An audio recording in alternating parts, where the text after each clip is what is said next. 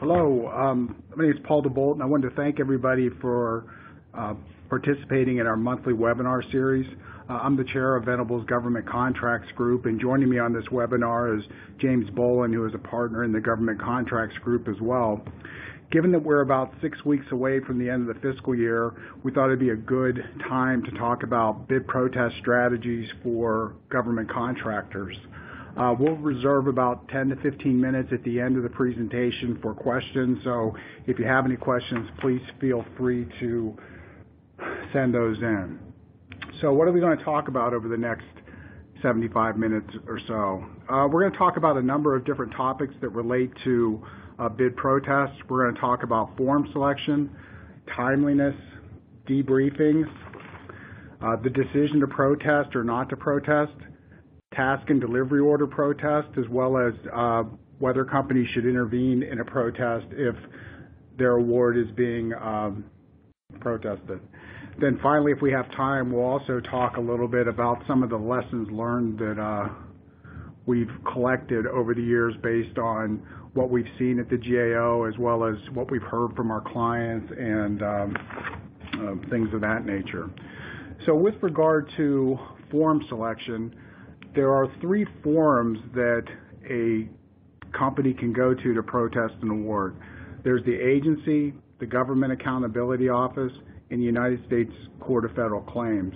Many agencies also have a task and delivery order ombudsman, and we'll talk a little bit about that, but it doesn't really have the formalized procedures that the agency, the GAO, and the Court of Federal Claims do with regard to bid protest. And I think both James and I have had experiences with the task and delivery order ombudsman that um, I guess were less than satisfactory, I think is how we describe it, when you know, sometimes the ombudsman won't return your call or issue a decision. So eh, those positions seem to be more just for optics rather than actually exercising any um, authority and trying to address concerns of disappointed offerors. Most most companies that file a bid protest, they protest at the GAO. And the reason is that if you protest at the GAO in a timely manner, you can get an automatic stay, and your company's not gonna be in a stronger position than when it gets an automatic stay, because the automatic stay serves to maintain the status quo. Uh, the next few slides give a little bit of history about the GAO. Uh, another good thing about going to the GAO is that under CICA, the GAO has to issue a final decision within 100 days after the protest is filed. Uh, a lot of times companies will file supplemental protests, but except in the rarest of circumstances, all the protests are gonna get resolved within 100 days. You know, sometimes you get a panic call from a client that because of the supplemental protest and when it was docketed, it looks like the decision date is gonna slip to the right. But except in the rarest of circumstances, the GAO is gonna do everything they can to get it the decision issued within 100 days after the date the um, initial protest was filed. I'm gonna skip up to um, slide 10, which provides some statistics from the GAO between 2012 and 2016. Um, you know, I think that over the past number of years, bid protests have been on the rise. Uh, I think this is due in large part to the fact that with budget uncertainty and the budget contracting and with the sequester, that I think people are more worried about what the workflow is gonna look like. And so if they're an incumbent, there's certainly an incentive to try to hold on to the work. And if you are a new entrant into the market, you know, you run the risk that there's not gonna be a new vehicle available for you. And so a lot of times when an agency awards an IDIQ contract, a lot of our clients are hoping to to just get a contract so that they have a, a hunting license for future work. Because if you don't, if you're not one of those awardees, you know, you could be shut out of a line of work, which could uh, significantly impact your bottom line. With regard to in 2016, there were 2,700 about 2,700 protests filed. That was up 6% from 2015. Of the 2,700, the GAO issued 616 decisions. 139 of those were sustained, so that increased the sustain rate to 23%, which was almost double what it was in 2015. Typically, when we talk to clients, you know, we tell them that under the best under the best of circumstances, you have about a one in five chance of um, winning at the GAO.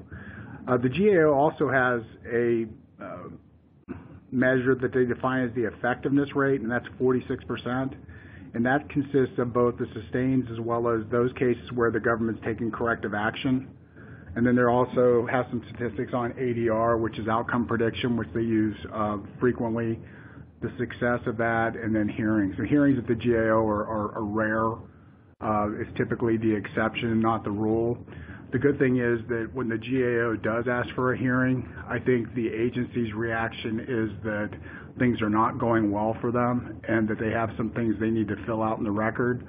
But by and large, you know, that's probably happens in, what do you think, James? Maybe one out of every 10 protests, one out of 20? Yeah, I think I think that it's definitely rare. One one point I would make on on these uh, GAO bid protest statistics, um, I mean, certainly folks talk a lot about the increasing rise of protests and and, and the numbers do bear that out at at the GAO at least. And, and right now we're only talking about the GAO. The Court of Federal Claims is is roughly around 100 a year. Um, Um, obviously not not, not used nearly as frequently as the GAO, which is why we're we're focusing right now on the GAO. But, but for those of you familiar with with filing protests at the GAO and the way that the GAO dockets a protest, when when someone files a supplement to their protest to add additional arguments to the initial filing, that supplement receives a new docket number, uh, a point .2, a point 0.3, a point four, and so on. And, and these statistics that we've just been discussing count supplemental protests. So, uh, and for those of you who have been down this path, it's it's it's pretty common to file supplemental protests, and sometimes a lot of supplemental grounds, depending on how often the record is produced. And so uh, that can drive up the perception of of more protests when when maybe only, you know, you may be talking about one procurement that's challenged may have three or four protest filings associated with it. In addition to that, you think about some of these really large IDIQ contract awards where where you have 10 or 15 or 20 protesters file. And if each of those files a supplemental protest or two, you now have 60, 70, 80 numbers in the GAO's docketing system are associated with just a single contract award.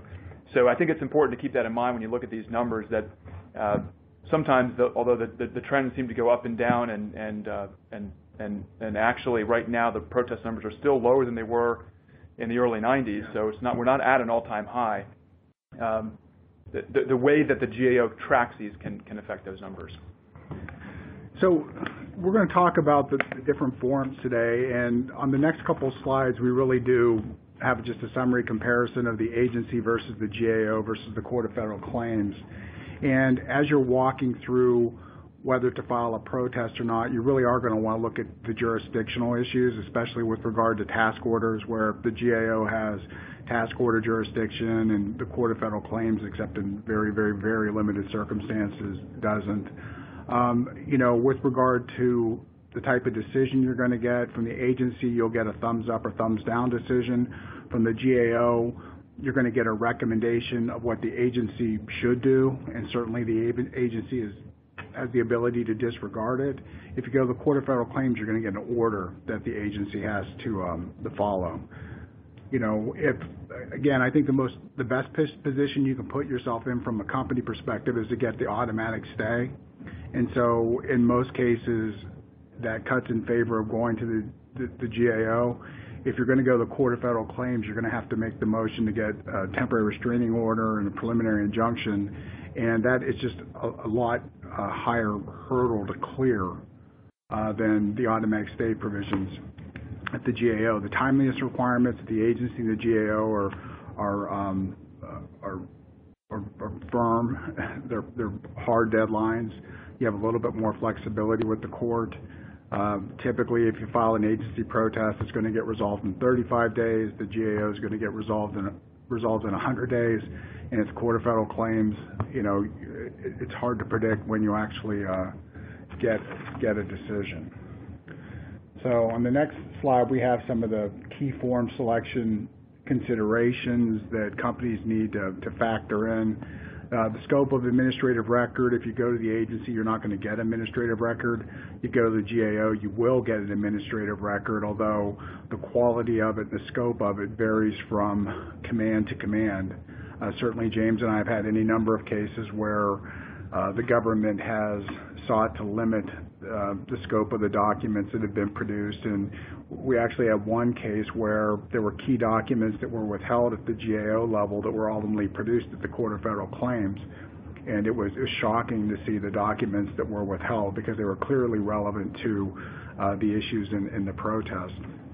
On, on that point, Paul, I would I would add that um, you know, people ask, well, why why does the administrative record uh, why is it different at the two? And and I think the, the, the real issue here is that at the GAO, the administrative record um, that the agency has to produce is is the relevant records, and it's really self-policing. The agency can decide what they consider relevant to your protest.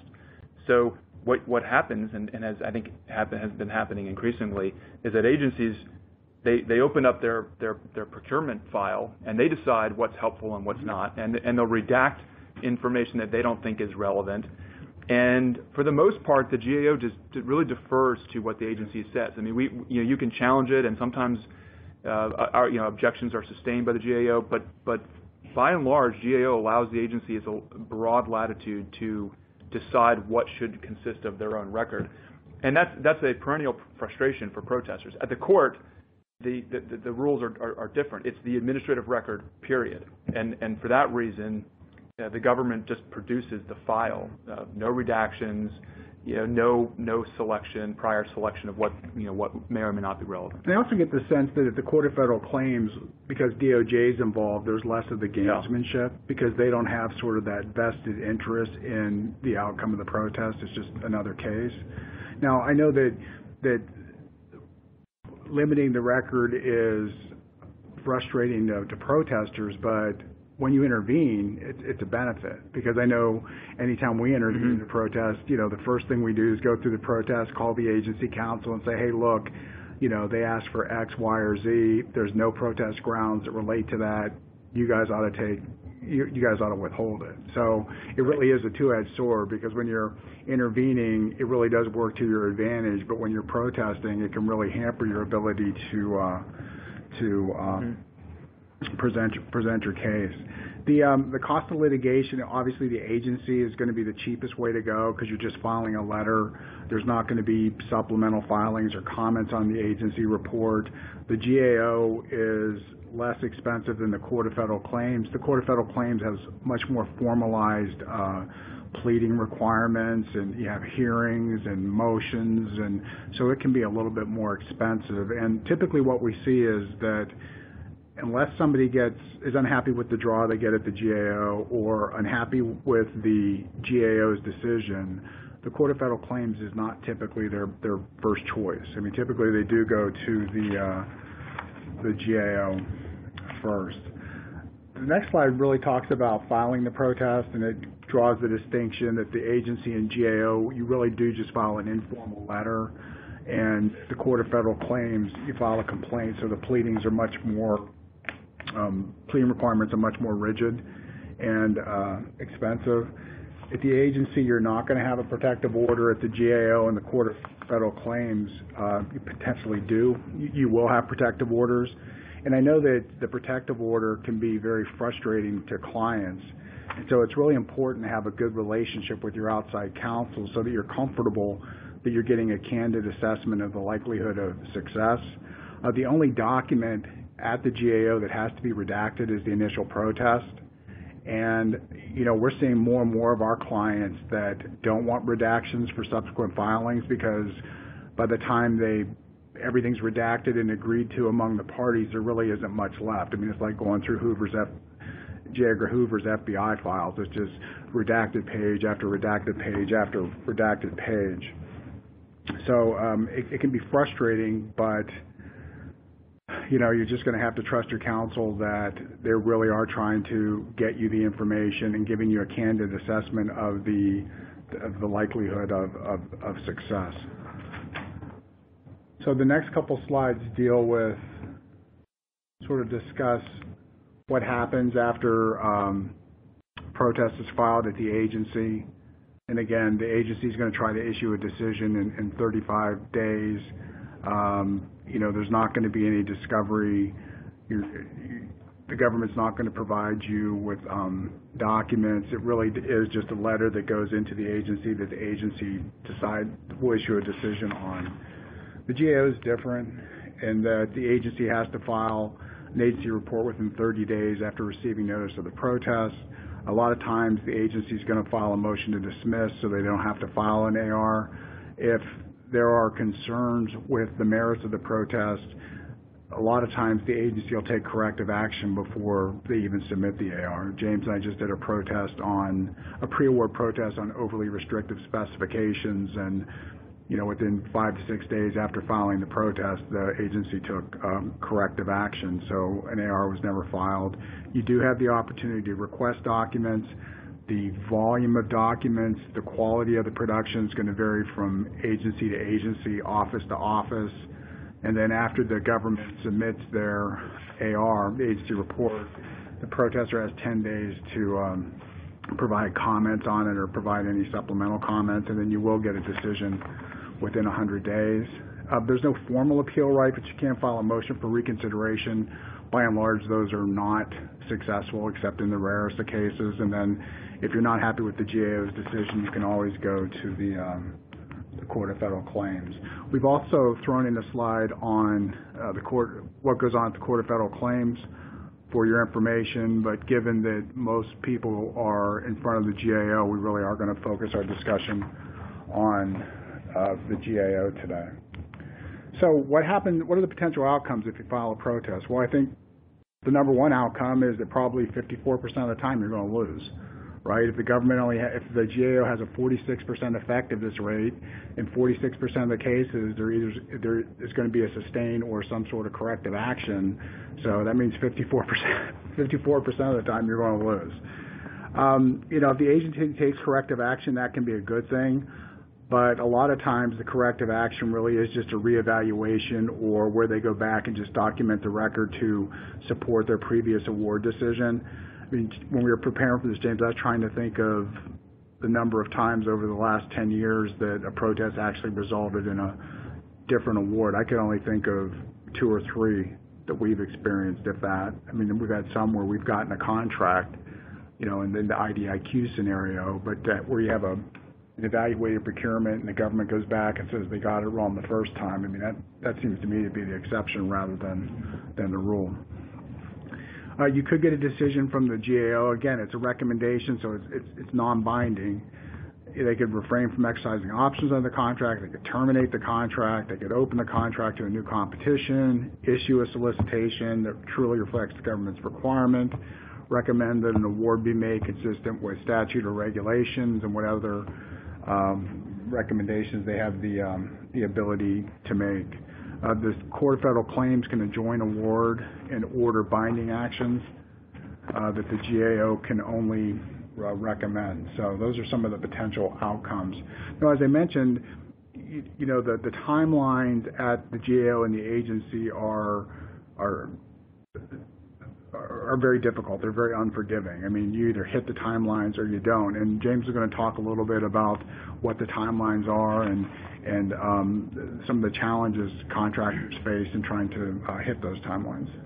Yeah. So as, as Paul said, you know, timeliness matters, and and it's it's if you're if you're not aware of the timeliness, then then uh, you know you may you may be really miss out on the opportunity to to even uh, consider doing something about something that you perceive to be um, improper in the procurement process.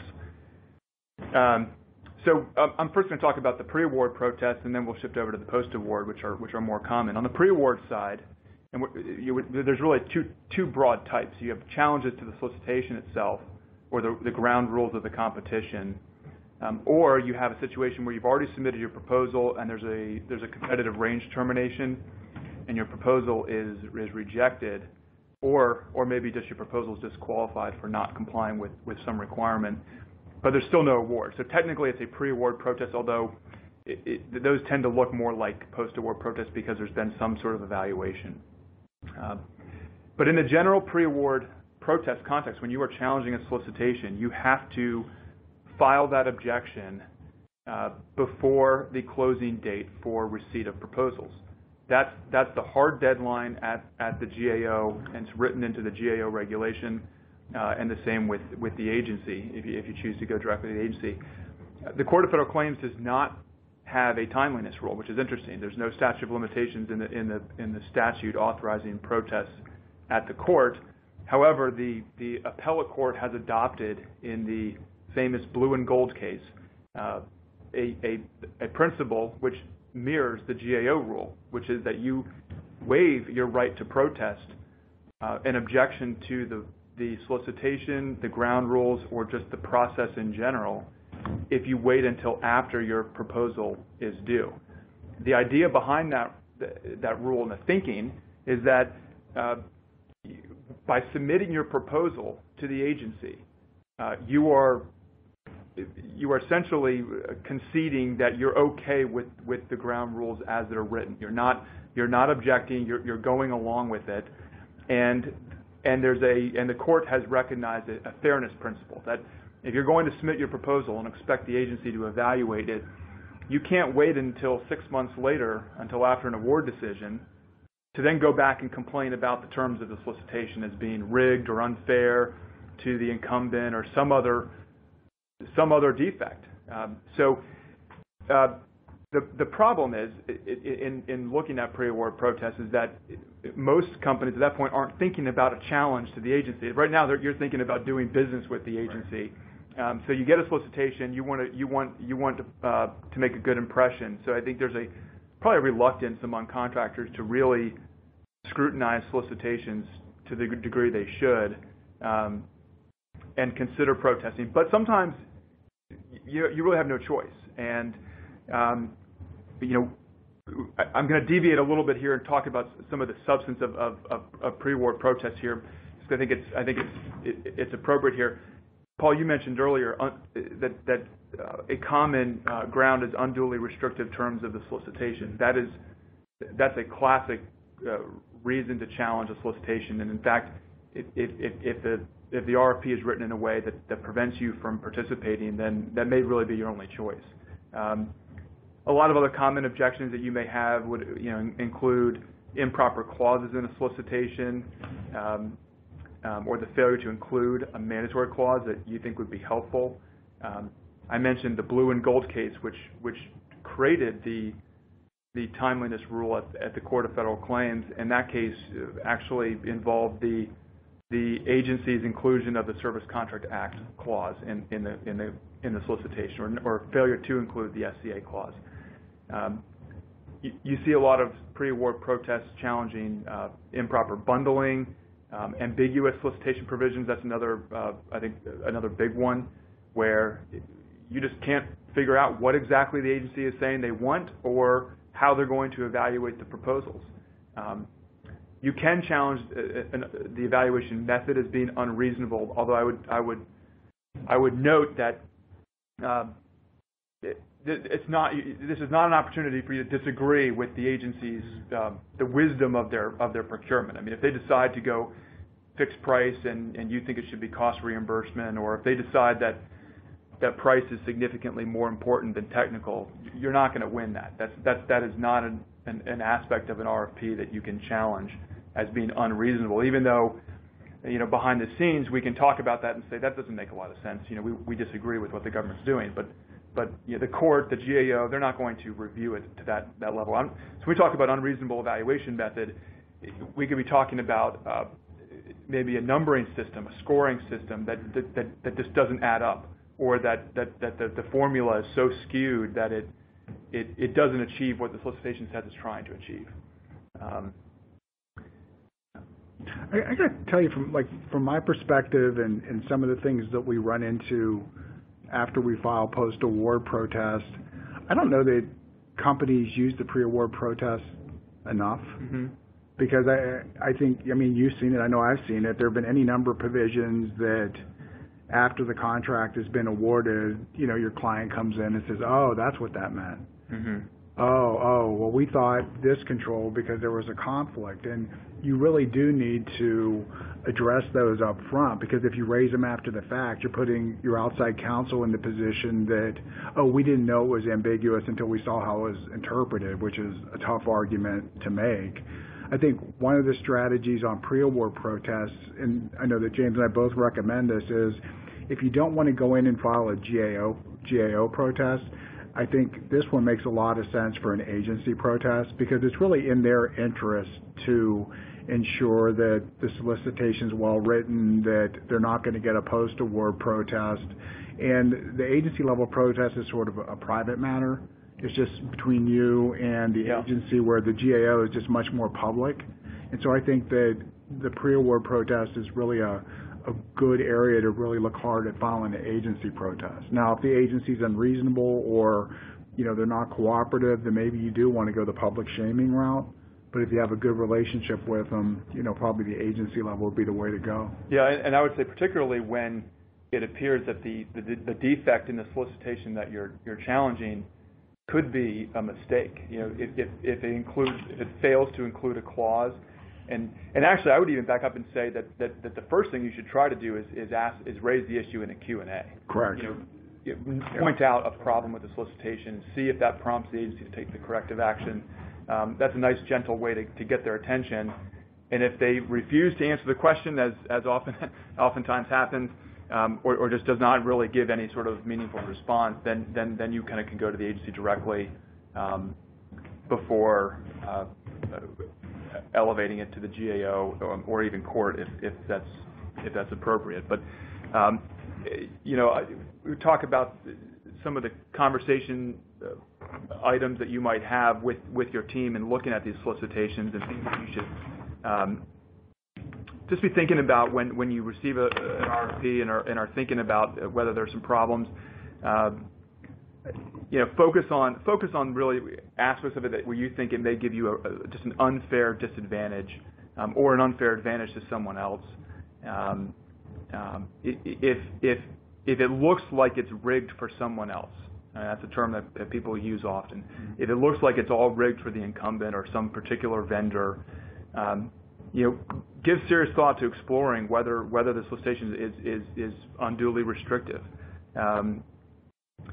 You know, for ambiguities, that's certainly something else that you would you would always try to clarify in the Q and A's.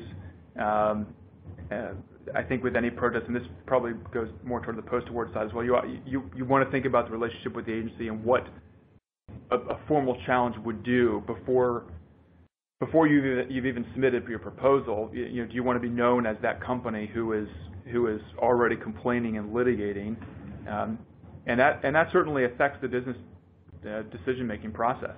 But but um, it, it all depends on how much you can live with the flaws that you see. Um, but so kind of reverting back to the timeliness here uh, issue. So so bottom line is just remember solicitation defects and issues got to be before you submit your proposal. That includes solicitation amendments. Um, if there's an amendment that introduces a flaw, and sometimes there's only a two or three day period to respond to that, you've got two or three days to file a protest. So the, the, the, can be very short on these pre-award protests. Uh, in, the, the post-award world, where, where the majority of protests uh, are, uh, you've got the familiar rule at the GAO, it's the 10, the 10-day rule, 10 days after you knew or should have known the, the basis of protest, uh, whichever, whichever is earlier. This is why um, you, you ought to be thinking about uh, long before an award is made, you ought to be thinking about whether this procurement is important enough to your company that it might be one that you would explore protesting if the result does not uh, turn out as you as you hoped. Um, it's it's never a good idea to be thinking about a protest after you know only when you get the, the disappointed offeror notice and you think, oh gee, you know this I'm not happy with this. Let's maybe let's go find counsel. Let's let's start talking about whether we should protest. Um, much better to be thinking about it ahead of time. Um, the the um, so the, the 10-day rule applies for, for both agency and, and GAO protests. Um, the Court of Federal Claims, as we mentioned before, does not have a strict timeliness rule. Um, however, uh, in the post-award uh, context, there's a there's a, a an equitable doctrine is applied to your protest, and it's essentially the, court will determine whether or not you, you your delay in bringing a protest was was prejudicial. Um, I've seen a variety of, of, of, of, time between an award decision and the actual protest going to the court. Um, usually it's a couple weeks. Um, uh, in fact, I would say more often than not, your protest of the court is following a, a, GAO protest. So the GAO denies your protest, and then within a couple weeks you decide to go to court and bring the protest there. Um, that's fine. You know, two weeks, three weeks. I've I've even taken one after five weeks after a GAO denial, which is pretty long, and and I, I wouldn't advise waiting that long. Uh, it, but it, those determinations are going to be fact specific at the court. It depends how how you know what the procurement is, the, you know, uh, uh, you know the the status of the award and what's being performed. Um, but it is something to think about. Um, if you do want to go to court, the bottom line is you got to do it. You should be doing it quickly. Um, and, and, and you got to realize too, because I mean, James and I have had this experience where I think we went in within 14 days, 15 days after we got a GAO decision because there were a number of stakeholders within the client that needed to weigh in on whether to go to the court or not. And lo and behold, you know, the first argument out of the DOJ attorney's mouth was, well, this really isn't that urgent, or you really weren't that concerned about being hurt because you waited a whole 14 days before you filed your pleadings. And no. they didn't get any traction with the judge, but it was still an argument that we had to address and be prepared to, to deal with it at the initial hearing. But if you can sort of short circuit various arguments or defenses that the government's inevitably going to put up, you know, you're going to put yourself in a better position and also be able to handle the case in a more cost-effective manner. Yeah. Right? Which is which is key to key to everybody. In, in just a minute, Paul is going to going to transition over to uh, the topic of debriefings. But before we we move to that, let me just end the timeliness discussion on on, uh, on, on one of the most important issues that seems to come up uh, regularly uh, for clients, and that's the issue of this of the timing of your protest when you have a debriefing. And so I'm going to go back now to the G, we're talking about the GAO here. When when when you have a, a, a required debriefing and you request a debriefing within three days of the award, um, so it's got to be requested within three days, and when you have and it's a required debriefing. So, for example, like FAR Part 15 negotiated procurement, the agency is required to give you a debriefing. In those circumstances, you have the later of uh, 10 days after the award or five days after the debriefing. A lot of times you hear these numbers out there. You know, oh, is, a protest 10 days or five days? Uh, and, there's some confusion surrounding that. Um, remember this: you always have 10 days. The government can never reduce your, time to protest to the GAO to less than 10 days for a post-award protest. So once you find out that you did not win that contract, at a minimum you will have 10 days. Um, so for example, on, uh, on day one you're, you, you are notified of the award. If on day three the agency provides the debriefing, uh, that does not mean you have to file the protest five days later on day eight. You still have until day 10. You, they can't shorten your time. You always have at least 10 days. But what, what would typically happen is the award is, is, is provided on day one, and then your debriefing is provided on day eight, and then you would have until uh, day 13 to file the protest, essentially.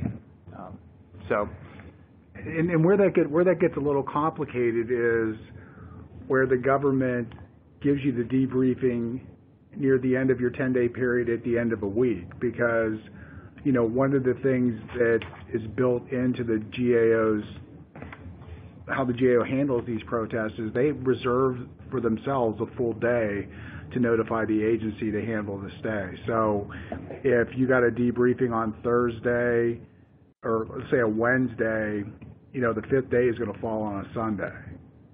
And, you know, and you need to get it a day early so that the, the GAO can make the notice to the agency. So once you get outside that 10 days, because of the when the first offer debriefing occurs, you know, you may have actually less time than you think, depending on yeah. when, the, when the debrief falls, and the requirement that the the GAO give the agency a day's notice. And you know, and and again, to James's earlier point, you should you should be thinking about whether you're going to file a protest or not before you get the disappointed offer or notice. Certainly, you know, when you when you're on that 10-day clock, you really need to think long and hard about it. You need to get counsel because you're going to want to do a lot of the preparatory work prior to when you could potentially get crunched on time because of the debriefing. You know, where you have your outside counsel trying to put something together in in 24 hours because it's really important, and we rely heavily on your technical teams, your cost teams, your management teams to give us the, the detailed information that we need to put into a protest. I mean, certainly we can read the solicitation, we can read the cost proposal, but the people that put it together are the ones that know it. They're going to know where the government got the evaluation right or wrong, and then we sort of put the legal arguments about it but you need to have sufficient time that they can do their best work and, and, and assist the outside counsel with putting the strongest protest grounds available. Yeah, and, and as Paul said, Paul mentioned the Wednesday debrief, and I think you'll. It, it I don't know, have empirical data to back this up, but it does seem that that, it, and I, I I've spoken with agency counsel enough to know that this is actually on their mind. They do plan this. Some of them do, or a lot of them do. They will plan debriefings for a Wednesday, um, for the sole purpose of making it difficult for you to protest, and when you think about, particularly if you've never protested before, and you don't have counsel lined up and engaged and ready to go, that alone can be a deal breaker because of the of the of the short turnaround. And as as Paul said on that, you know, you, you know let's say you're dealing with the five day rule post uh, post debriefing, you get it on Wednesday. You know, we'll say you'll hear from us that yeah, you can file Monday morning, but you really should file Friday afternoon. Or, uh, so basically 48 hours after the debrief, you've got to be filing this protest. And, and we're going to say that because uh, the, the statute is written in such a way that, that technically the GAO has one full day to notify the agency and trigger the CICA stay, stopping performance. And depending on the, the, the importance of a procurement, especially if you're the incumbent and the transition, if, if you don't get that stay, that, that, that can be devastating for in terms of your your, your your objectives of the protest, in terms of the ability to get an effective corrective action. So uh, it, it, can be it can be really difficult. But yeah. bottom line is, I mean, that's why that's why it, it, you know, good contractors are thinking about this ahead of time. They're ready to go. Yeah, and and you know, it, to, to James' point, you can go in the morning of, and certainly we've all been put in that position where you know, we're on the 10th day, the, fifth day after the debrief, and we'll go in at 9, and then some poor associate gets nominated to call the GAO every hour to see if the stay call's been made. But if it's a significant procurement, if you're the incumbent, you really want to avoid putting yourself in that, that position. So the, the, the pre-planning, the early engagement of counsel, the uh, collection of facts from your technical team, your management team, your cost team, uh, those are all going to make things go a lot more smoothly and put your company in the position to to get the stay because you really do want to maintain the status quo. So one of the things that through this whole process is important is the debriefings, the required debriefings, and these typically these occur under FAR Part 15 uh, procurements. And these are really a, they can be, they're not always, but they can be a good opportunity for your company to get information about how your proposal was evaluated, the strengths, the weaknesses, and what the government may or may not have done, uh, how, how they may or may not have evaluated your proposal. Did they actually faithfully follow what was set forth in um, Section M? And you have a couple opportunities for debriefing. Certainly, you're entitled to a pre-award uh, uh, debriefing, and in both cases, you know, the debriefing request has to go in three days. It doesn't need to be anything formal. You don't need a formal letter. You don't need a letter from your attorney.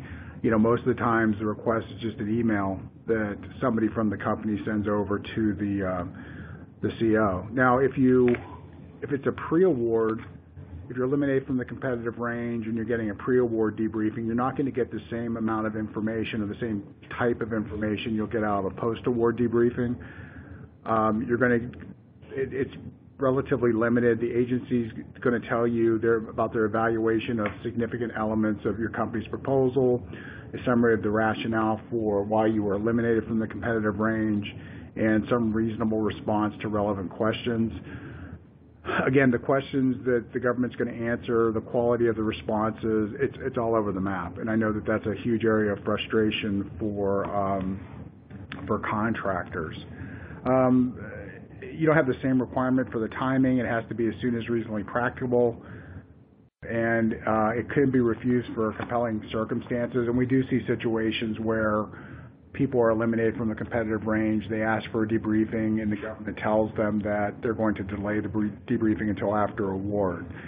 Now, so you, you know, if, if the CO says they're not going to give you a pre-award debriefing, they're going to give you just a post-award debriefing, that's good because it's not going to impact your ability to, to file a bid protest because it was the government's decision.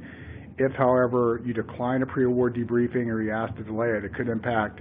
It's going to impact the uh, your ability to file a protest on on on issues. So if you're offered you, you if you're offered a pre-award debriefing, you want to take it, or you want to be in a situation where the CO um, refuses to to provide it. Sorry about that. And post-award debriefings, again, this has to, you have to make the request in writing. Um, you definitely want to try to avoid uh, getting the debriefing scheduled on Monday through Wednesday, but you do have an obligation to, you should accept the first offered debriefing date because that's what the clock, the five-day clock's going to go off of. So you know, unless there are exceptional circumstances, you need to take the first offered debriefing date and make sure that, that, that you get the uh, information. One of the things you need to be aware of is a lot of times agencies will send what looks to be a written debriefing as part of the discussion about when you're going to get your debriefing. You know, arguably you're going to be on the clock when you get that package for the information that's contained in there. And there's also a risk about whether that is your debriefing or not, and does it impact your timeliness? We had a situation a couple years ago where the agency had offered a debriefing, but they'd also given us a written debriefing at the same time they offered the debriefing. And so we were, weren't sure about the timing. So just out of an abundance of caution, we went off the written debriefing. The agency filed a motion to dismiss saying that it was premature because we hadn't had the, the face-to-face debriefing and the GAO denied the motion to um, dismiss as premature, saying that the government had created this this uncertainty and they couldn't um, create this confusion and then and then benefit benefit from it. James has talked a lot about the um, the stay of performance and the key information, and those issues are set forth on on, on slide 31. I think a lot of times people walk into a debriefing thinking they're going to get a lot more information than, than what they do, and a lot of clients express disappointment. What needs to be provided at a debriefing is set forth in 15506D, and what the agency should tell you, what it's supposed to tell you under the FAR is about their evaluation of significant weaknesses and deficiencies in your proposal, the overall evaluated cost or price, the technical rating, past performance information, uh, the overall ranking of offers, which is important. And if if it was done, you want to make sure that you get it because there's nothing worse than having a client come and say, "Hey, look, you know, I think I was like next in line for award. We need to protest this. I, I know I'm better than the awardee." And then you get the actual agency report and you find out your client's 13th. And so you, that puts you in a really bad position because one of the things you need to show as part of your protest is that you had competitive prejudice. It's very, very tough to be the 13th um, rated offer and knock out 12 to get to number one. And you know that's going to be that's going to definitely draw a motion to dismiss. You're not going to be able to show show competitive prejudice. Now, what they're not going to do is do a point-by-point comparison between your proposal and, and the awardee and you know what you need to be listening for are those areas where it doesn't appear that the government evaluated your proposal in accordance with Section M. You want to look for areas where it appears the government misled you if you had discussions. You want to try to identify areas if there was a relaxation of the specifications. So you really do want to be in a, a fact um, collection mode. you know, with debriefing strategies, I always want to try to get an in-person debriefing. I think that it's beneficial to actually have the government people in the room and to be able to look them in the eye and ask questions and see how they're reacting. I mean, a lot of times the contracting officer will talk and give the client a lot of helpful information, and the attorney from the agency will realize it and go back and sort of try to recast what the uh, the contracting officer said. Um, you want to prepare questions. You want to submit questions. I think you want to take advantage of that, whether you have an in-person or a written debriefing. You want to ask for documents. The government may not give them to you, but it, it never hurts to ask. And you want to make sure you know when the debriefing is closed, you know, or whether it's continuing to be open, because that can have an impact on timeliness is, is timeliness of your protest. Two, two points on on that in terms of, of keeping the debriefing uh, open. Uh, always request that if if, there, if you if you want follow up questions, but just make sure they put it in writing. Uh, I would only rely on it for timeliness purposes of a, of a potential future protest. If they put in writing, the debriefing re will remain open until we answer the questions. And something else about the in-person request that, that, that I think I think Paul, we both get these questions pretty regularly is whether or not uh, you should have outside counsel attend the debrief. And our general view is no, it's it's it's not uh, it's generally not very helpful. Um, and if, if you have an outside attorney uh, attend the debrief, then the agency will have their counsel present, and the contracting officer and whoever else is in the room will be very guarded, more guarded than usual. Mm-hmm. Um, they're going to assume every question you're asking is is is to trap them they're going to feel like they're in a deposition in a way, and it just doesn't it doesn't achieve the overall purpose of a debrief, which is to get as much information as possible. So.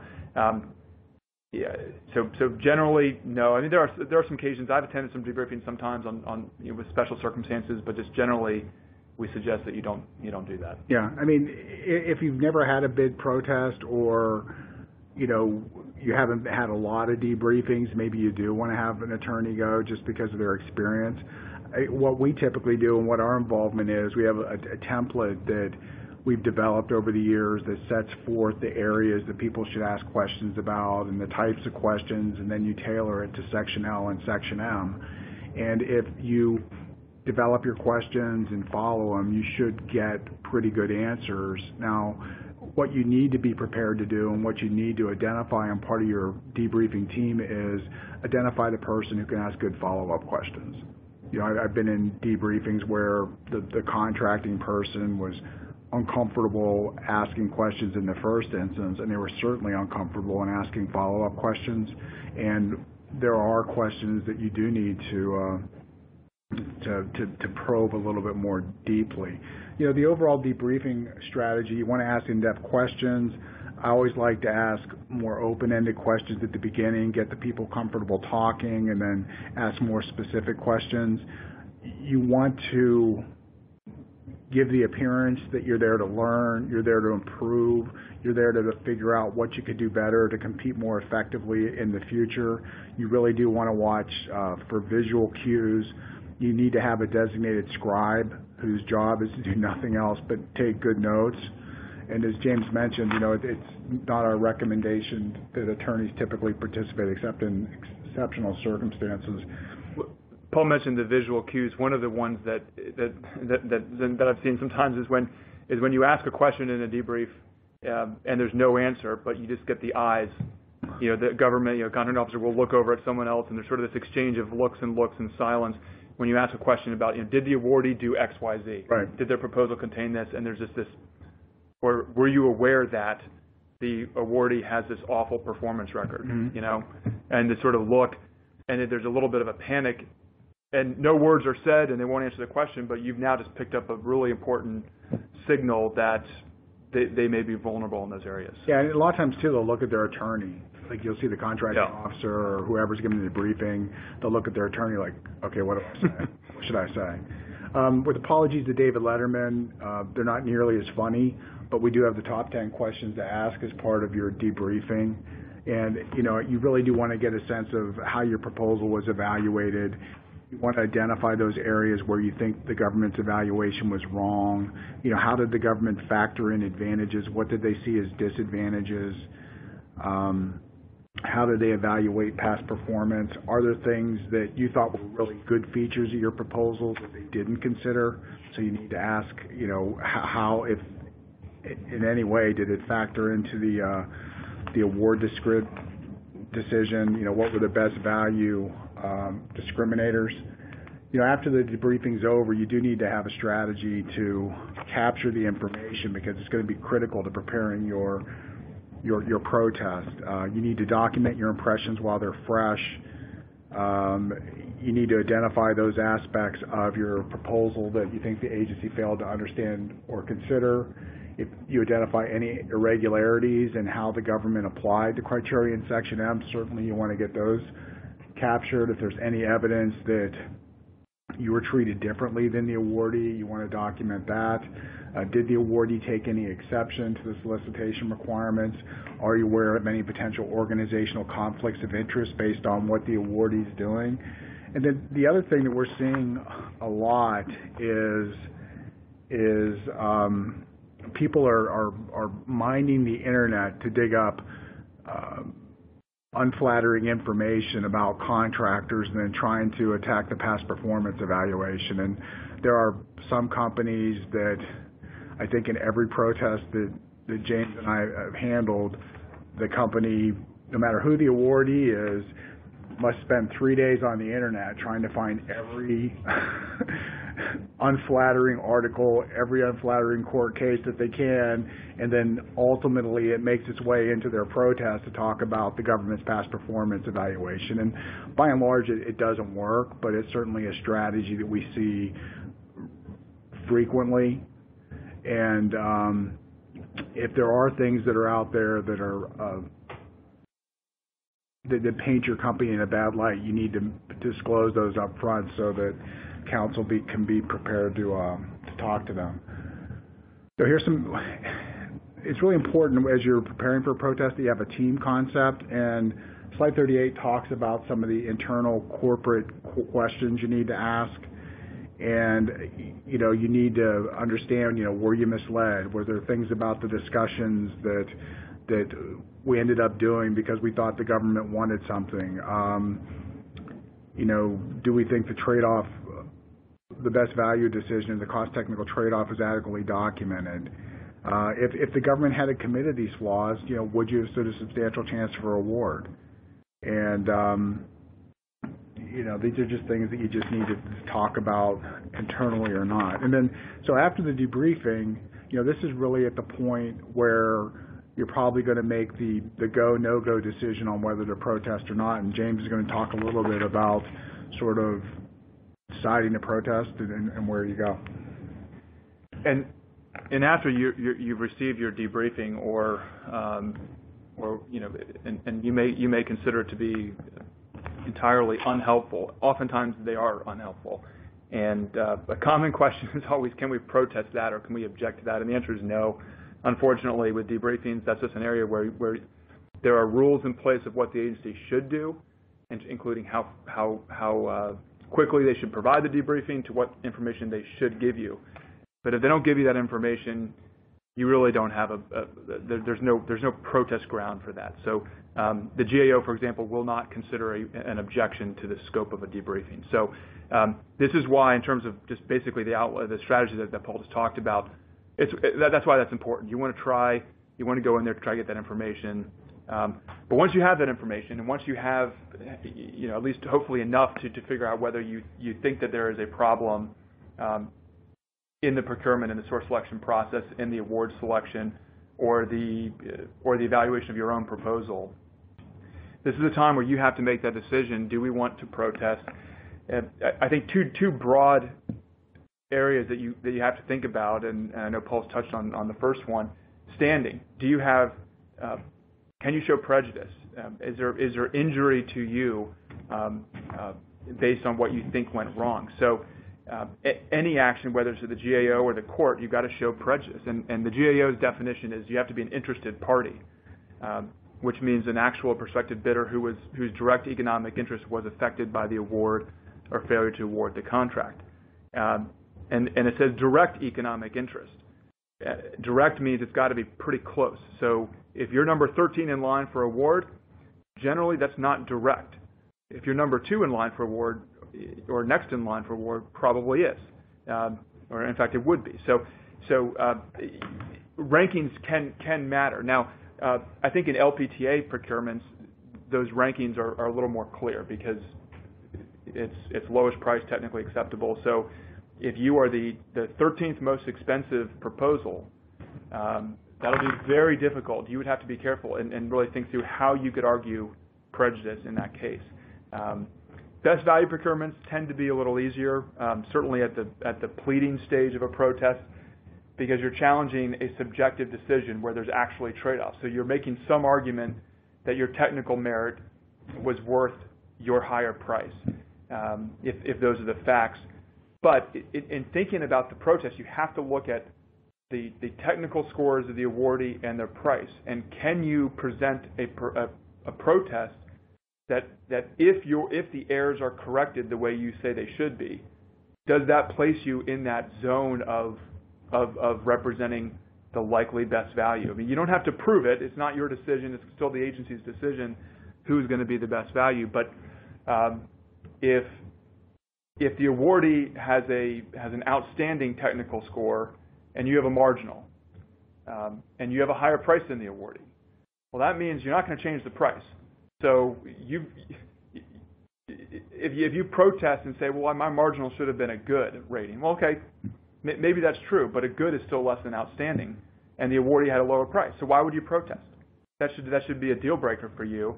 Um, and, and, frankly, if we had, if we saw those facts, even if you had some basis to show that you that you that you should have received an outstanding, which would be a very difficult argument to make and, and, and to succeed on, even then you're talking about essentially a tie.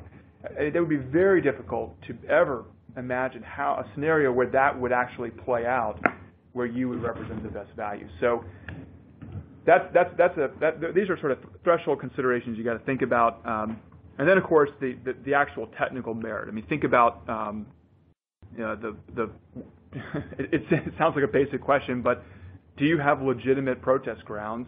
Um, was there an actual impropriety in what the agency did?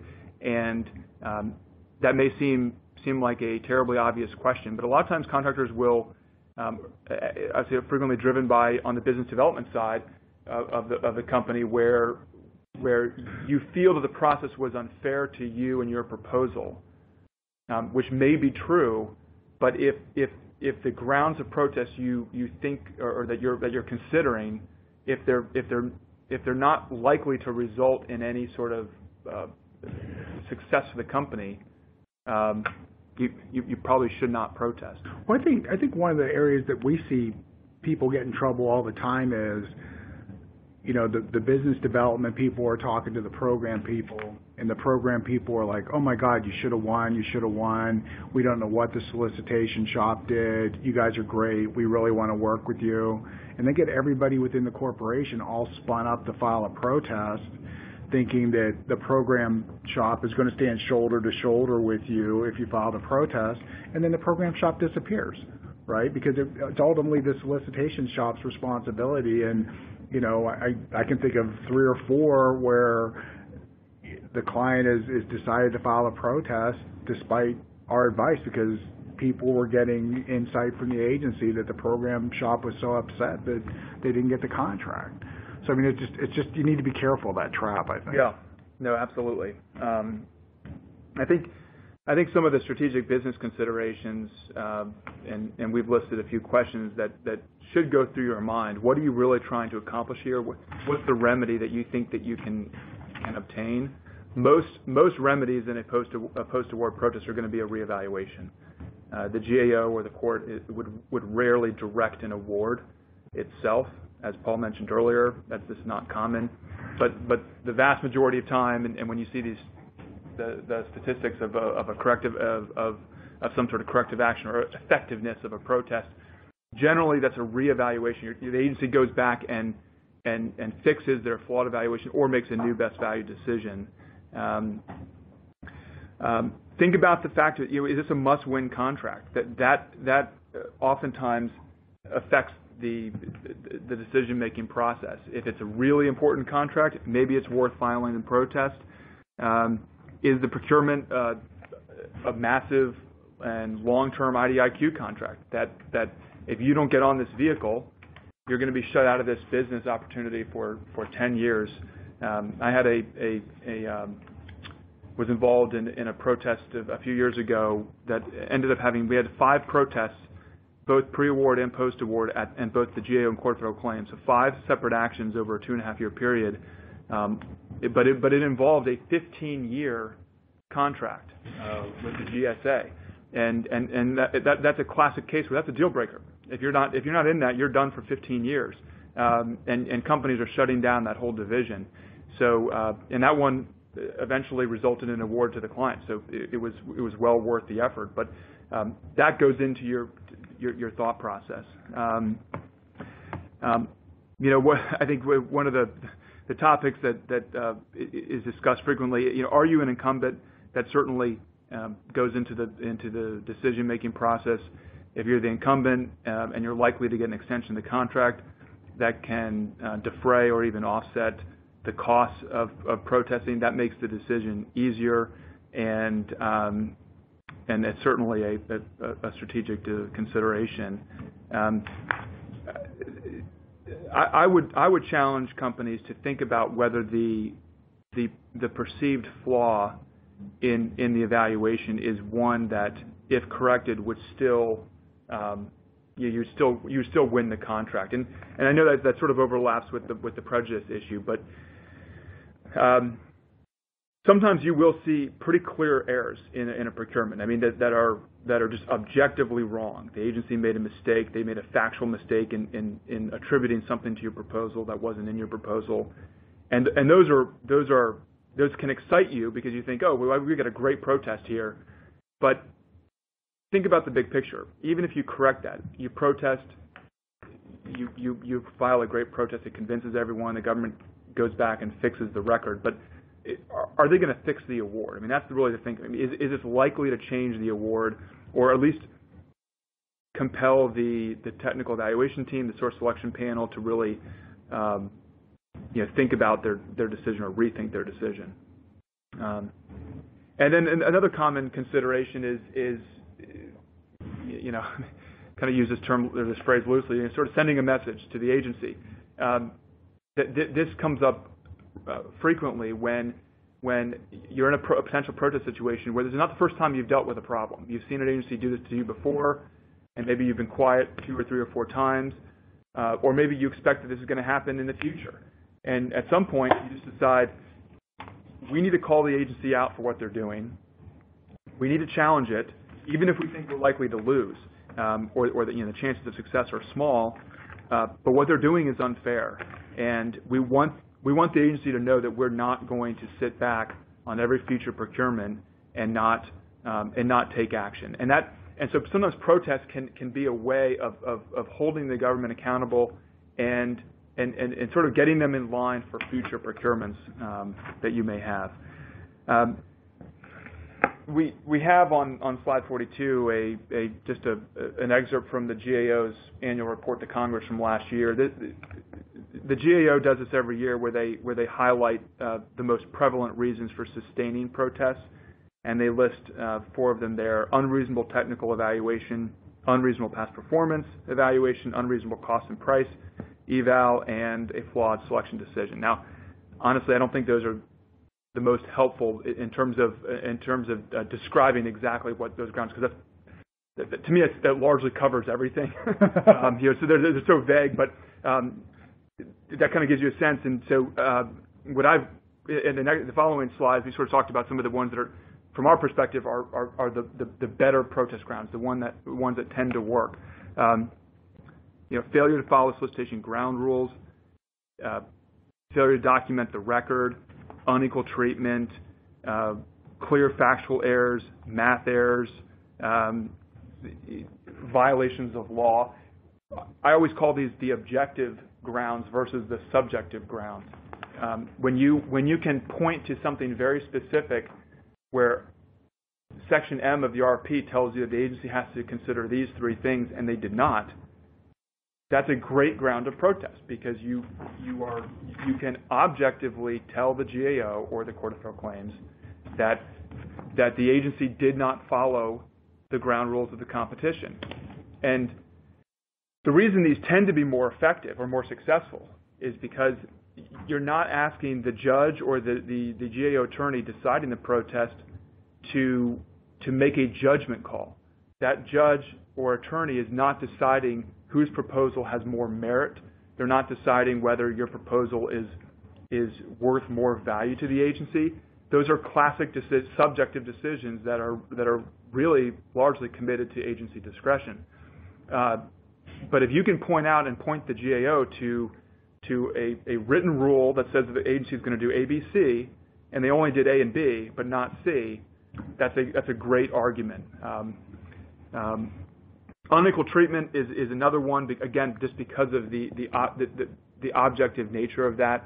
Um, frequently, that we see unequal treatment uh, grounds develop in supplemental protests once you get access to the other uh, awardee's proposal, because then you can have the proposals side by side, and you can see under protective order. So unfortunately, the you know our clients and the companies can't actually see this, but but outside counsel can review the proposal of the awardee, compare it to yours, and and validate the evaluation. See where uh, you know sometimes agency evaluators uh, give an awardee all sorts of credit for, for for proposing these wonderful features, and and then we look at your proposal and we find out that you have the same thing, but you received no credit. So that's a that's a classic ground. Um, um, some of the less successful grounds, I talked about the subjective agency judgments. Um, this is not to say that these grounds don't succeed. They can succeed, and they, they have succeeded, but they just they, they generally are, are not as successful. They're more difficult, and um, you know when you're thinking about protesting, if if these are the only grounds you have, um, uh, you know that, that that can that can weigh against maybe a decision going forward. Of course, having said that, um, all, all cases are fact specific. So, for example, we you know talk about um, individual ratings. Um, it can be difficult to say that your that your a good proposal should be outstanding. It's hard, it's very hard to convince a GAO attorney that that an agency's judgment that this proposal is good and not outstanding is going to is going to is going to justify a, a, sustained decision. Um, trade-off decisions are hard to challenge, but again, it depends on what the numbers are. I mean, if if if your uh, proposal is 50% lower price and your and the technical appears to be essentially equal, well, then yeah, I would say that that's a much stronger ground um, of protest. But generally speaking, you know, if, if, if, the if the proposals are close in technical or price, um, and of course, depending on what the evaluation scheme says, if, if price is more important or significantly more important um, than technical, you got to you got to consider that as well. But but but generally trade-offs are going to be are going to be difficult to challenge. Well, the other thing too is you know as you're like formulating your strategy and looking at your your what legal theories you're going to proceed on, you have to have an understanding of to what you actually need as a as a as a offeror because let's say that you know you just blew the proposal and you essentially need a mulligan, mm-hmm. a do-over. Some of these arguments aren't going to aren't going to get you there. If you're going to try to get a do-over, you probably need like lack of meaningful discussions or relaxation of requirements or something like that that can get you to get you where you need to be to submit a new proposal. But if you're just if you need a new proposal, but the only grounds you have are are going to get you a reeval, that's probably not a good protest to file. Yeah. It's just just a waste of money, I think. Yeah. You know. Yeah. No, that's a great point. Um, so, so I think those are that's that, that's sort of a, that kind of recaps the, decision-making process when you when you're when you're presented with a, potential protest decision. I, want to touch briefly before we, move on to the important topic of intervention, which should not be overlooked. Um, but we have just a couple slides on on task and delivery order uh, uh, protests, and uh, you should be familiar, if you're not already, with, with some of the quirky rules that apply to task and delivery orders. Uh, and to clarify, this does not refer to GS, uh, GSA Federal Supply Schedule orders, although we talk about those as being task and delivery orders. And they're not FAR Part 16 task orders. So uh, this does not apply to GSA Federal Supply Schedule. Um, but when you're talking about a, a, an order against an IDIQ vehicle, um, there are there are pretty pretty strict, well, uh, absolutely strict and severe uh, restrictions on on the ability to protest. Um, right now, uh, civilian agency, IDIQ vehicle, um, you the the procurement or the task order has to be valued in excess of $10 million. If it's DoD, that was recently moved up to 25 million. So you've got a $20 million Navy order that you think uh, the Navy violated the law, you can't protest. You cannot go to GAO, you can't go to the Court of Federal Claims, um, you can't protest that. So that's that's that's a problem and, and you know, it can be very frustrating, particularly when you see pretty pretty blatant errors. Um, um and this applies both post-award and pre-award. If it's a solicitation uh, for a a $20 million DoD Uh, uh, procurement or order um, that's gonna be against an IDIQ vehicle, um, and it's essentially a brand name contract, it restricts competition, um, and maybe you would say blatantly violates uh, the competition laws of CICA, you can't protest that. So keep that in mind when you're when you're looking at your procurements. And this really should be in the back of your mind before you even, I mean, long before you get the award. However, Paul mentioned at the very beginning, and this is this is something that that that uh, it's worth noting, there is a task and delivery order ombudsman option. It's not it's not technically a protest, it's a complaint. Um, but you you can. it It is a it is a process that exists where you can file an objection letter, a complaint letter to the ombudsman that would look like a protest, that complains about what happened, and um, and it's it's less effective. There's no process right, so there's no there's no timeline in terms of when you get a decision or if you ever get a decision. There's no there's no record. There's there's nothing. It's you file the letter, it goes into a black hole, and you hope you get a response. Um, we've had plenty where there's just no result. We've also had cases where the ombudsman writes a letter back within a month and takes corrective action. So they can work. I mean, which is why I wanted to make sure we, we pointed these out. So even though there is a jurisdictional bar on Uh, a lot of these task order procurements that are worth worth a lot, um, you know, $9 uh, million or 24 million, depending on the agency, um, you still have that option. So. Yeah. I mean, I think our most recent experience was, though, that, like, we you didn't get your calls returned. No. You never got a letter. It was just. Yeah. And and like, thanks for caring. Right. The ombudsman, they know that because, again, what are you gonna do? If they don't return your call, if they don't respond, there's no legal mechanism to compel them to take action. So when you don't have that process right, an agency, it's that that that official can really do what he or she wants to do. It is frustrating. So. Uh, the next topic we want to talk a little bit about um, is is intervention. And this really applies to the awardee whose um, whose contract is being protested by a disappointed offeror. I and I know that a lot of companies decide not to intervene because they're worried about the time and expense associated with it. But you know, I think companies need to understand that there is some utility in, in intervening, and that just because you intervene doesn't mean that you have to spend a significant amount of money. Uh, on slide 50, I talk about really the two types of intervention. There's like an intervention light and then active intervention. And really, the intervention light is having somebody that's able to get under the protective order, that can monitor the protest, and more importantly, ensure that none of your proprietary data is making it outside the protective order. Because as the government and the protester are negotiating about what should be redacted or not redacted, if you don't intervene, you don't have any. Certainly, the protester's not gonna be acting in your interest, but you don't have any guarantee that the things that you would consider to be proprietary are gonna match what the government considers to be proprietary. So there is some risk that your proprietary information um, could make it out into the public or be provided to a competitor, which may hurt you on on future procurements. Um, you know, you should have a conversation with operations about whether it makes sense to intervene or not. But I think by and large, it's it's it's it's a good decision. And, and some of the things that intervention helps with is it gives you an advocate to the agency. You know, a lot of times what James and I do when we intervene on behalf of a client, I mean, the first call we make is to agency counsel.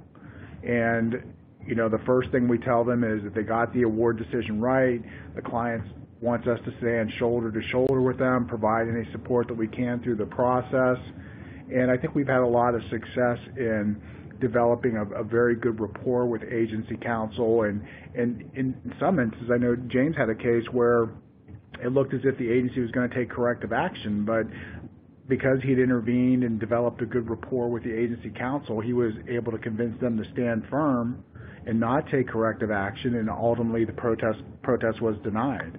The other advantage is that having somebody intervene, an outside counsel intervene, it can help shape corrective action because if the if you're if you're an awardee and the government's going to take corrective action, you really want to try to limit it. You don't want to have entirely new final proposal submissions. Maybe you can convince the agency to just correct the past performance volume or the technical volume, but not give not let the disappointed offerer submit a new cost volume because right now they after the uh, award decision is made, they know what price they're shooting at and so it can put you at a competitive disadvantage if the government takes a um, a, uh, uh, a broader corrective action. Uh, outside counsel can help limit the record. We do that a lot, talking to agencies about what they do need to do need, should or should not um, approach. You can you can advance arguments that the government may not be willing to make. I mean, there are a lot of times you talk to government counsel about making a particular argument, they're uncomfortable with it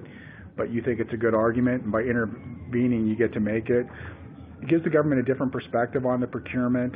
Uh, I'd already mentioned protecting uh, proprietary information, and you can also gather information and uh, you know get a good sense of what the government's needs are. You know, they may need assistance with you know, research or, or something, and by intervening, you're able to um, to help to help them.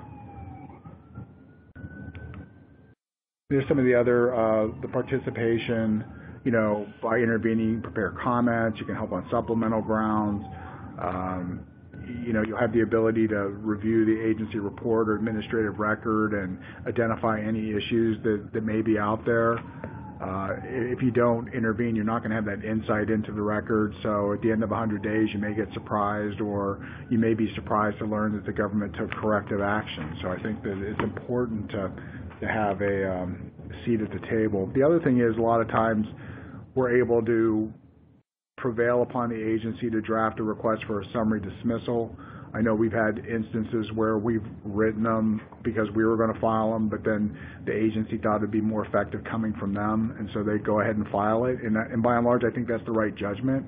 Yeah. You know, I think the GAO has a tendency to to give the agency's pleadings a little bit more weight than the, the interveners. I don't know if you have a different. Yeah, no, I, I, on that point, I, I, I agree. And, and, and for those of you who have not intervened or really thought about the process, it, it, it is interesting uh, where, where you as the awardee at, with your outside counsel can essentially provide that you augment the agency's legal uh, support for the, uh, to defend the award and and ghostwriting does happen. Uh, some some agency lawyers don't don't want it, and they just they they they, they keep some distance. But a lot uh, uh, greatly appreciate the the added support, and um, as Paul said, I think agencies or the GAO tends to take an agency pleading more seriously than than the interested awardees pleading. Right. You know, they have more self-interest in, in preserving the award, where the agency is viewed a little bit more as a, as a somewhat as more of a neutral Mhm. in um, in just conducting the overall procurement. So, when, you know, we'll draft language and provide it to agency counsel, and they will put they will literally put it in there on their letterhead um, and sign it as their own document. So that, that, that that's an effective tool um, for the intervener. Yeah, and you know, we've also had instances where the agency counsel just wants to bounce ideas off of you. We had a, a protest where we were representing the intervener in a Navy procurement, and we'd get calls from the agency counsel all the time, like, "Hey, look, I'd like to run an idea by you. What do you think about this? What do you think about that?" So it is a really good um, opportunity to help their thinking, to give them somebody to bounce ideas off of, to um, discourage them from taking like unreasonable positions or misstating the law. So there's a lot of benefits, and, and most of and your outside counsel should be able to work with you on sort of how much effort do you actually want them to expend. You know, like you don't have to go all in. You can. There are lesser forms of activity that can protect your interest. Yeah, it, and, I, and I would really emphasize this one point on intervention that um, had a number of experiences, including one one very recently, where where the intervention may not have been active. We didn't we didn't we didn't uh, draft extensive pleadings. It was more of just a, of that show of support um, that that we talked about, but the, the value of getting on the phone with the agency attorney in terms of just developing the relationship, we as outside counsel become your advocate um, and a voice for you as a contractor. And and and I've had lengthy conversations with um, uh, an agency office um, because we're on the same side. So they, they you know they view us as allies, and and and and uh, and we you know we talk through the issues we, we can develop just a really good rapport. We'll joke with, with them and just get to know them well. And I tell you that that can be invaluable, and and it, and it provides us an opportunity to to tell the agency lawyer who is deeply involved with the procurement, working with the contracting officer and the rest of the technical evaluators, how much it means that that the agency selected our client for award, how much the client cares about this procurement and is looking forward to proceeding. And so even in the situations when there is a, a corrective action, because you know maybe the facts just require it, there, there was an error, nothing you can do about it. They got to go back and do some reevaluation. But we've now, by intervening, we, we've developed that relationship. We've had those personal conversations, and I, there's no way to put a put a dollar figure on, on that value, but I, I can say just from, from going through that, it, it, it can it can do a lot. So, if for no if for no other reason, I think it's it's, it's worth just having that that um, just that presence and, and Yeah. develop that relationship. No, I, I agree. I totally agree. Um, we got about um, nine minutes left, and we have some lessons learned here at the end that um, you know we've sort of collected and, and gathered over the years based on our experience with our clients and what we've seen at the, the GAO. Um, those lessons learned are summarized up on, on page 56. But I think you know one of the important ones is that as a business, you really do need to maximize your pre-proposal marketing opportunities. Uh, I think it's important if you're providing innovative technologies. I think it's very important if you are uh, trying to get in front of a new agency. I mean, some agencies are easier to get into than others. There are some agencies like, oh, I don't know, the CIA or the NSA, they sort of have their their contractors, and it's just a really tough market to get into. So you really do need to make the outreach and, and show them, you know, how you can make them look good and make their life make their life easier. Uh, you know, as you're going through the um, the solicitation, you really do need to look at, at Section M, and you really do need to write to Section M I think a lot of companies, specifically, I think in particular incumbents, they tend to write their proposal to what they're seeing on the ground and what they think the agency needs rather than what their proposal is going to be evaluated against by the procurement shop and the technical team. Mm-hmm. And they're shocked as, as heck when they don't win. Um, I also think that you know incumbents run the risk of of, of drinking their own bathwater. I mean, certainly James and I have had a number of recent protests where basically the only complaint, legitimate complaint the protester has is that, you know, we're the incumbent and we're really good. So how could you love anybody better than us because, you know, we're the most lovable contractor in the world. And it, it's dangerous that when you fall into that trap. And so I do think that as part of your proposal team, you sort of need that doubting Thomas or that person that's going to look and ensure that you have addressed the issues that are that are set forth in, in Section M. And again, you know, if there are ambiguities in Section M about how you're going to be evaluated, if there are ambiguities in, in what the government's instructions are, you really should try to clarify those because you don't want to try to justify them after the fact. I think it's very important to uh, to understand, you know, what the rules of the road are going in. And you know, if you, if it's really egregious, then yeah, perhaps think about a GAO protest. But if it's not, use the question and answer process and think about an agency level protest. I don't get the sense that, at least based on my experience, James may have, may have a different experience, but I don't think that the agencies are as offended by an agency level protest as they are a GAO protest. Yeah. They seem to be a little bit more open to that, and and if it's legitimate, I mean, they I think I think they appreciate it in some ways. Now, I would go in earlier, right, if I identify the problem rather than later, because they're not going to want the procurement delayed. But that makes it incumbent upon the uh, the offeror to really scrutinize Section M, and certainly if you have if you get a draft RFP, take the time to look through that carefully and provide your comments so that you're shaping the proposal all along. I think that uh, you know you can wait you can wait too long. Um, the proposal details. You, you, I guess it's surprising how many times people don't submit key information. I mean, you see a number of cases where people don't identify key personnel or they don't submit resumes or letters of commitment. I mean, those are all easy mistakes that should be avoided. But you know, even sophisticated contractors, you know, continue to um, to, to, to to make those. I think the other thing is that you really do have to consider the fiscal environment. Um, I mean, some of the proposals that we've seen, um, as they compare to the independent government cost estimates or the prices of the incumbents, I mean, people are, are, are slashing their costs to get to get awards. And so you really do need to understand that the government's looking for value. They're looking for low price, low cost, and, and sometimes candidly it appears that even though it's a best value procurement, the way the government's conducted it, it's essentially an LPTA procurement. They found the lowest price and then they sort of back into the evaluation to um, support support the award decision. You know, we see issues like about this all the time when considering which corporate entity will submit the proposal. You know, how can you use the past performance?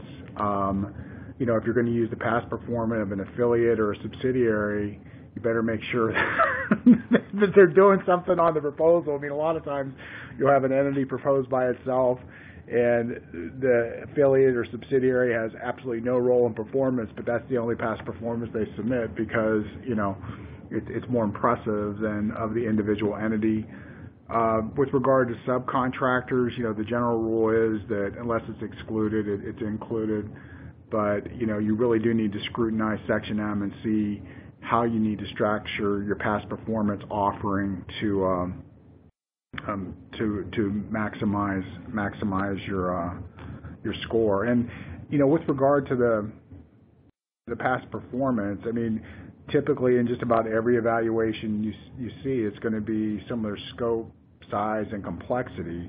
And so you really do need to take that seriously and try to track those past performance references to what's going to be done here because that's an area where it's frequently attacked that a contract, you know, this is a, a $500 million contract and all your contracts are 50 million. Well, okay, how are we making the size, scope, and complexity requirements? So you really do need to um, to scrutinize scrutinize those. Scrutinize those.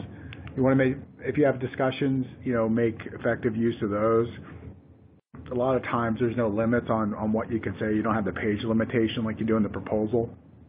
So you need to avail yourself of those opportunities. Um, you know, don't simply reference citations to the proposal. You really do need to take the discussion issues seriously and, and fully ar- articulate your response. Uh, it's not helpful to say, see, see proposal section X and that be your response. I mean, obviously, the technical evaluation team had already looked at that part of your proposal, and having reviewed it, they still have questions. So you really do need to to uh, amplify that. It, it sounds silly and probably trite, but you know what? Neatness counts, and uh, you know we see people get marked down all the time because their proposals are, are sloppy, and it, it, it causes a, a concern with the agency. So we are at the 1:30 mark. Uh, I appreciate all of you, and James appreciates all of you participating today and listening to our webinar. Next month's webinar on September 20th, 2017 is entitled GSA Audits from Anxiety to Zen, which I don't know that Zen-like existence and GSA should ever be used together, so I'm definitely